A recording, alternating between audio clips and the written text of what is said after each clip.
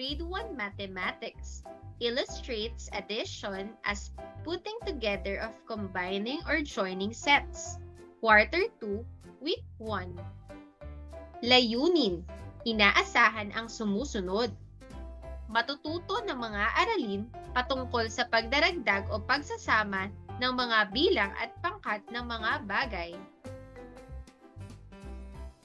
Pagsubok. Piliin ang tamang sagot.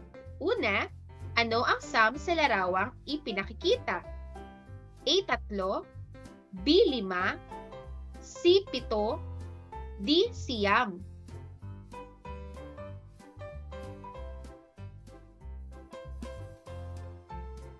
Ikalawa, tingnan ang larawan.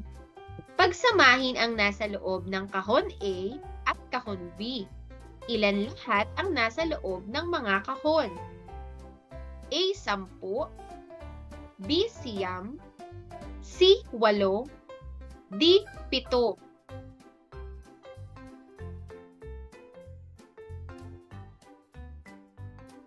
Ikatlo, paborito ni Carmela ang mga prutas. Nagpabili siya kay nanay ng apat na mangga, tatlong orange, at tatlong bayabas. Ilan lahat ang mga prutas na binili ng nanay niya? A7, B8, C siyam, D sampu.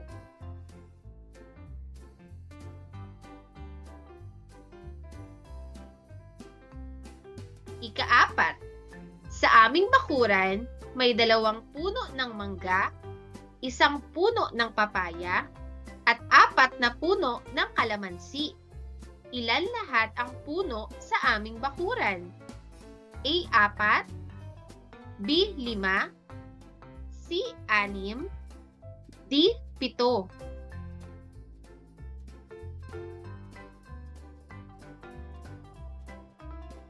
Ikalima, si Rosa ay bumili ng apat na lapis at dalawang papel.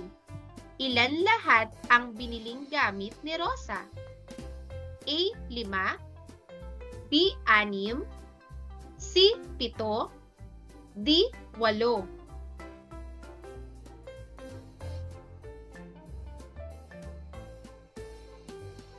Balik tanaw. Bilangin ang mga daliri ng bawat kamay.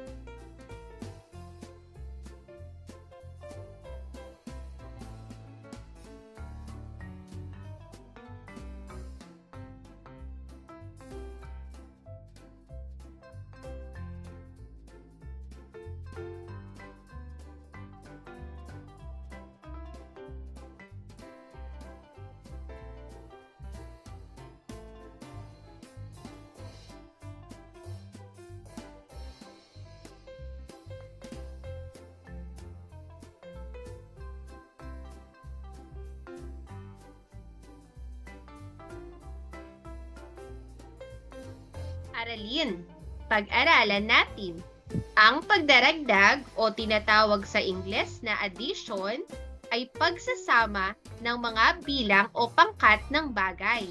Ang mga bilang na pinagsasama ay tinatawag naman na addends.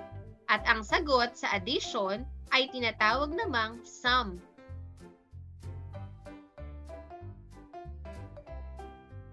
Tingnan natin ang halimbawa. Anim na mansanas, dagdagan ng apat na mansanas ay sampung mansanas. Anim na mansanas ay dinagdagan ng apat na mansanas. Ang kabuuang mansanas ay sampu. Ang anim at apat ang tinatawag na addends at ang sampu ang tinatawag na sum.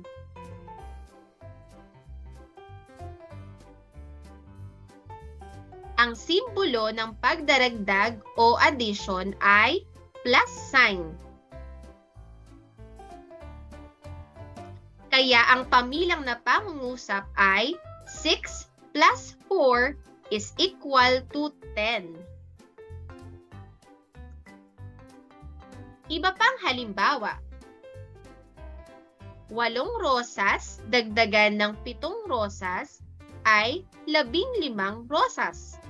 Pamilang na pangungusap, 8 plus 7 is equal to 15. Pitong rosas, dagdagan ng walong rosas, ay labing limang rosas.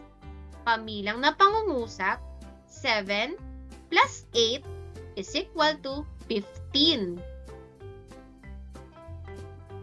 Pansinin ang mga set ng rosas. Sa una, makikita natin na ang pamilyang na pangungusap ay 8 plus 7 is equal to 15 at ang pangalawa namang set ay 7 plus 8 is equal to 15.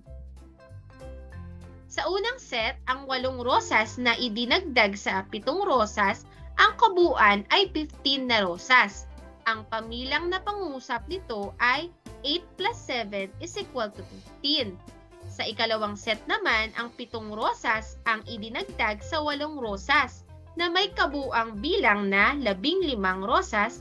Ang pamilang na pangusap nito ay 7 plus 8 is equal to 15.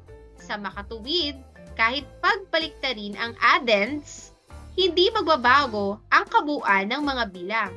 Ang 8 plus 7 is equal to 7 plus 8.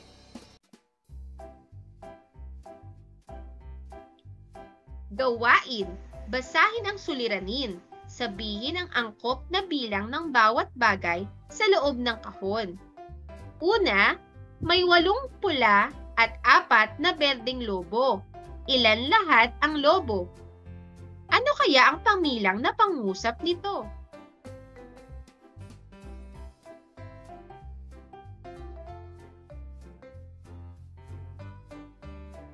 Ikalawa, nakapulot si Ronald ng dalawang shell, nakapulot naman si Michelle ng sampu.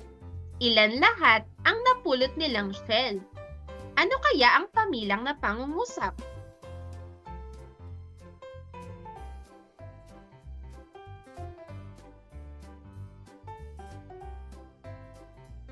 Ikatlo, si Ana ay may limang candy at si Maria naman ay may apat. Ilan lahat ang candy nila? Ano kaya ang pamilang na pangungusap?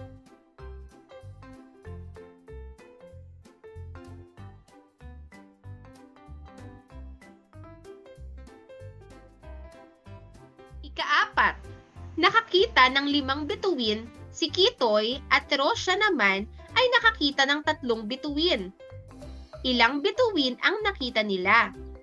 Ano ang pamilang na pangusap?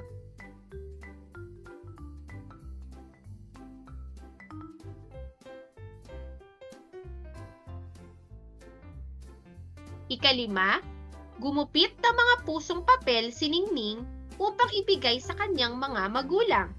Binigyan niya si nanay ng apat na pusong papel at apat na pusong papel din kay tatay. ilang pusong papel ang nagupit niya. Ano kaya ang pamilang na pangungusap?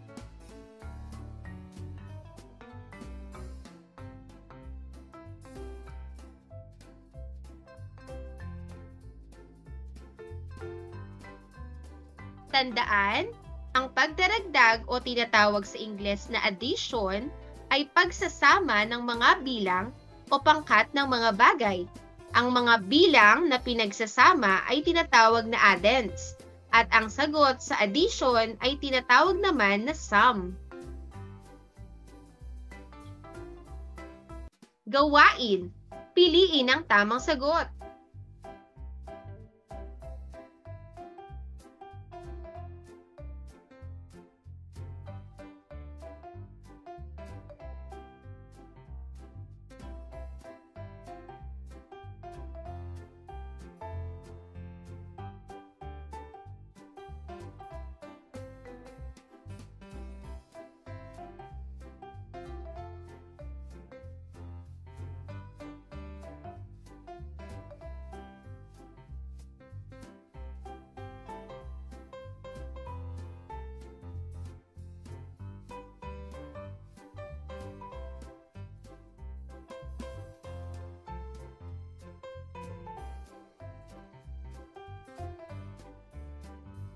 Pagsusulit.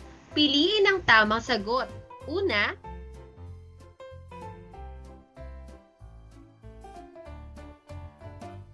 Ikalawa, ano ang pamilang na pangungusap ng set?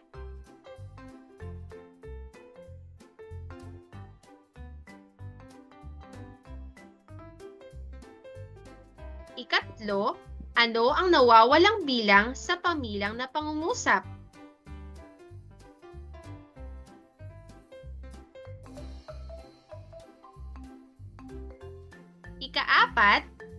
Naghanda si Leia ng limang kulay, kahel, at tatlong kulay, pulang plato.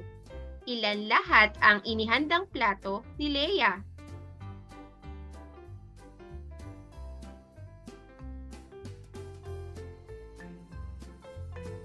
Ikalima, may alagang anim na goldfish si Kyla at apat na goldfish naman ang alaga ni Rona. Ilan lahat ang kanilang alagang goldfish?